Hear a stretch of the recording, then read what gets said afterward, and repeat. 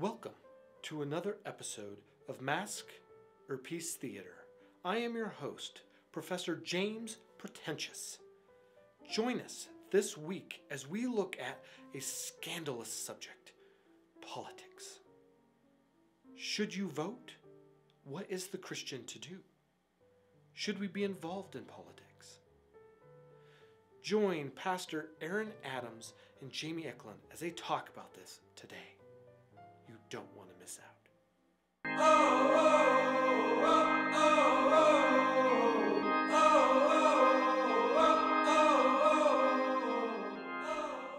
Uh, so a lot of uh, questions that we get asked, especially this time of year, mail-in ballots are coming out and stuff like that. Yeah. So uh, how how should a Christian vote, and how should they think about their vote?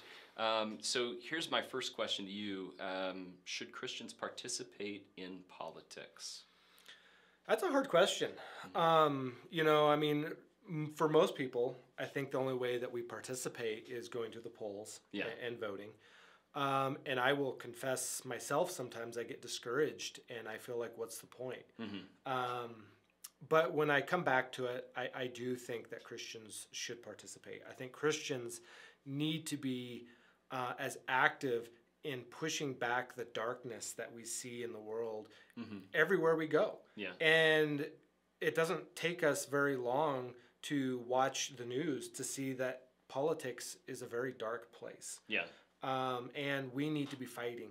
We need to be pushing back against that. And so, yeah, I do think we should be uh, involved in politics, and I think we should vote. So a lot of times um, it feels like you're kind of squeezed into um, a mold that you didn't pick, right? Yeah. So and that's not unique to Christians. I think uh, Americans this year especially, and and a lot of times we look around and and we just are kind of like, man. I don't want to be squeezed into one of these two camps, Yeah. uh, but we kind of find ourselves there.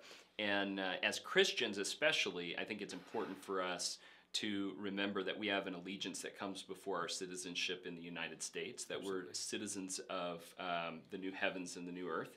Um, and there's going to be a day coming when our King is present uh, in the flesh and um, when Christ returns. And until that day, we have to live sort of almost with dual citizenship. Yeah. But if our um, kingdom citizenship doesn't come first, then um, we're missing out on the way that the Lord has designed us. Because, like, when, when I go to the ballot box to vote, um, I should be thinking, first of all, uh, what are the kingdom principles? Right. Before the kingdom of heaven and the kingdom of God principles, before I say, uh, what does my political bar- like party say? Yeah, absolutely. And sometimes I admit that's hard. Um, I grew up in Wyoming and I do have some very conservative leanings. I am very pro Second Amendment. Uh, but to be honest, it's hard for me to sit back and read the Bible and say that the Lord is passionate about our right to bear arms. Yeah. Um, it really is, you know, and so I have to hold that in balance with everything else. Not that it's unimportant, Yeah. but it's not the most important. And we have to be able to weigh those things when we're voting for something. So that actually gets to a really good point, which is that we we have a tendency to sort of get pet projects or pet like ideas, like the the Yeah. thing that really gets our our our dander up, and Yeah. Mm-hmm. and so for some people that's the Second Amendment, and um, and it can become an idol, right? that that you absolutely. you look at it and you say instead of the worship of the Lord, uh, sometimes I'm tempted to worship uh, myself Yep. and my right to do this or that. And uh, but that's not the only one. And so um, I think that Christians have a unique opportunity um, in a world that is consumed with all kinds of idolatries to be able to say to our friends who share many of our convictions, Yep. like I can't go that far because my Lord commands me to come in this direction with Him. Yeah. So, like um, another example of that would be uh, a place where we look and we say there's a genuine grievance that somebody has that uh, is legitimate and needs to be addressed, but the solution that's being offered goes against God's word as well. And so, Christians often, because we feel squeezed into the two camps that the world wants us to find ourselves in, um, there's a great deal of pressure to do that when in actuality we should be offering a third way. We should be offering the kingdom way, the way that says, um, um, with God's word, um, I will um, commit to the welfare of the community I find myself in. That's what Jeremiah told the exiles to do. Pray for the welfare of the city you find yourself in. Really dig into being a member of that community, but do so uniquely as the people of God.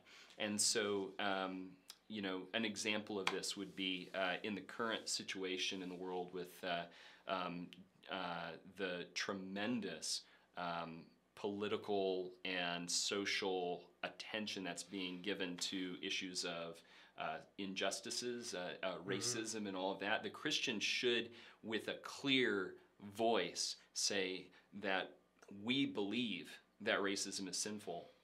That uh, to show partiality Yeah. over one's uh, skin color or something else is sinful, that we're called to esteem everyone that has been made in the image of God according to the Spirit and not according to the flesh. So, like Yeah. the flesh in me repeatedly wants to judge other people, wants to categorize, wants to do what the world does, and to put everybody in little boxes. But the Spirit calls me to welcome people into the community, to call people to faith in Jesus, regardless of their um, of, of any characteristic that would divide people according to the world. Well, we want to, as a society, we want to bring division. We have division on age, on race, on sex, mm-hmm. on eth- ethnicity. Mm-hmm. We have all kinds of division on political orientation or sexual orientation. Mm-hmm. Um, but when you look at Jesus and when Jesus was on this earth, he treated everyone as equals. Right? It doesn't matter their race. It didn't Right. matter their gender. It didn't matter their age Yeah. and and we need to model that for the world you know this idea of caring for those who can't care for themselves Yeah.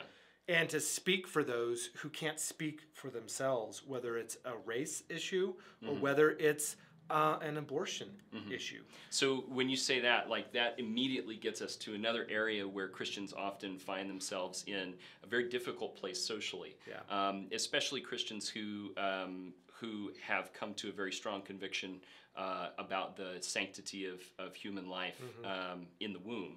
And so what we end up with yet again is a, an issue that threatens to divide. Yeah. And and I think that one of the things that we as Christians can do and have an opportunity to do is to reach across those lines with the love of Jesus so that we are able to answer questions that are that are put to us um, not with the uh, condemnation that the world throws around but with uh, with the love that the gospel provides so Right. so like um, a good example of this um, is Jesus in John chapter 8 with the woman caught in adultery so this is a woman who the law gave uh, every right for um, the people to stone this woman to death, death, yeah. for her sin. And uh, so it wasn't the that justice was not going to be served in her death. But sometimes what we find is that uh, earthly justice and um, that's not tempered by mercy ends up being tyranny. And Jesus steps into that situation with uh, forgiveness offered to this woman, and he rescues her from the death that she actually deserves Yeah. which is kind I mean that's just a small picture of what Jesus' entire mission was. Right. And so so for Christians to be able to name a sin without condemning a person uh, for that sin and saying, you know, you, because of this you're irredeemable is absolutely critical in this day and age. So for Yeah. instance, to be able to look at somebody and say, um, when when you ended the life of your unborn child, you committed an evil act against that child. But Jesus loves you. Mm-hmm. And he loves you so much that he will provide forgiveness for any sin, including the sin of abortion or anything else. And he holds his hand out to you, his nail scarred hand, to mm-hmm. say, I have paid for every sin that you carry. And there's actually a lot of women, even women in our own uh, Christian communities, in our own churches, who carry the shame Right. of, of feeling like they, they bear this thing that they can never get rid of. Yeah. And the gospel offers grace and peace and forgiveness and, um, and takes away the shame when the Lord Jesus reaches out that hand Yeah. to pull you up and say, You are forgiven, you are redeemed. Um, another topic on, on that, that is important in this respect is um, when we look and we say, like, um, as Christians, uh, we hold to a, a biblical understanding of human sexuality and gender. Um, that we believe God created man, male and female. Like in, in Genesis chapter 1, uh, verse 27, it says that God created man. Uh, in the image of God, He created them, male and female, He created them. That this, this um, common humanity that we share is a gift from God. But we also know that into the world, there's so much confusion, and uh, we stand in a place where we have an opportunity to speak um, words of comfort and grace and forgiveness and redemption and identity to those who have not been able to find their identity anywhere else. And so they find themselves um, um, diving deep into the brokenness that's in them. And instead of finding wholeness in their identity as a child of God by faith in Jesus Christ, they look for identity in their brokenness, Yeah. in the brokenness of their their uh, sexuality or the brokenness of their gender uh, dysphoria or identity or whatever else you want to call it. And the gospel ought to be able to speak words of love and acceptance and kindness rather than um, rather than falling into the world's trap of saying agree with me or you will be rejected and hated. So I think you, you hit on the the defining piece that we struggle with the most, and that is the identity. When we go back to what we were talking about before, when we look at the different political uh, parties that are out there, right? There's two predominant parties, and we feel like we're being pushed into one of those molds. Well, I got news for us. Like none of the none of the systems the world has created is a perfectly biblical mold It's true. other than the Bible, other than Christianity, Yeah. right? True, pure Christianity, Biblical Christianity. biblical yeah. Christianity. And so when we look at all these things, where whether it's your sexual orientation, whether it's your sin, whether it's your political party, or Mm-hmm. whether you know how are you going to vote, what hill are you going to die on, we always want to find like where is our identity. Yeah. And so often that's why I think the world is so confused is we don't know where our identity is. Yeah, absolutely. And this is where the gospel um, brings clarity. If you if you look in Romans chapter eight, um, it starts out with this uh, statement: "There is therefore now no condemnation for those who are in Christ Jesus, for the law of the Spirit of life has set you free in Christ Jesus." From the law of sin and death. For God has done what the law, weakened by the flesh, could not do. By sending his own Son in the likeness of sinful flesh, and for sin, he condemned sin in the flesh, in order that the righteous requirement of the law might be fulfilled in us, who walk not according to the law, or according to the flesh, but according to the Spirit. And then later in this text, we find out it says in verse 9, You, however, are not in the flesh, but in the Spirit, if in fact the Spirit of God dwells in you. And then later on in the text, um, we're referred to as uh, sons and daughters of God, adopted into His family. So, uh, what we find here in maybe the greatest chapter in uh, the greatest uh, book of all of Paul's letters, Yeah. uh, we find our identity described as being in Christ by Yeah. faith, adopted into the family of God, united with God by the work of Jesus Christ.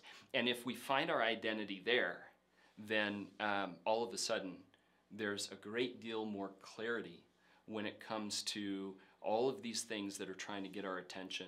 I don't have to consider myself a member of this group or that political party Yeah. because I belong to Jesus. Right. I may identify in some way with those things. But if my identity in that political party or that group or or that movement or whatever else it is comes before my or or that identity in uh, terms of like you you mentioned sexuality and, and and gender, but even like ethnicity or culture or anything else. If those things come before my identity in Christ, then I'm going to miss out Yeah. on the fullness of peace that God has to offer in Christ. And, and uh, as a result, many Christians walk around in fear Right. and um, um, confusion Mm-hmm. because they've forgotten that their identity is supposed to be in Christ.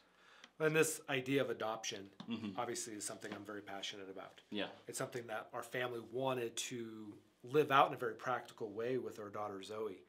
And when I think of our daughter Zoe, she is as much my daughter Mhm. and receives all the blessing and all the kindness and all my love as much as any of my biological children. Mhm.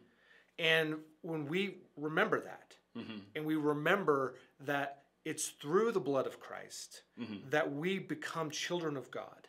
And because we are children of God, we receive all the blessing and favor and, and peace that God gave Jesus, Mhm. He also gives us. Amen. And because of that, Mhm. we are united in His in His family. Yeah. Amen. Amen. An-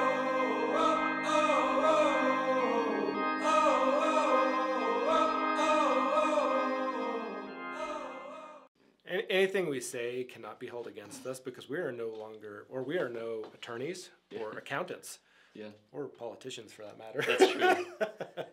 So uh, I heard that they're going to mail out our mail-in ballots this week. So uh, Jamie, one of the things, one of the questions that I get asked a lot is, uh, what do you think about mail-in voting?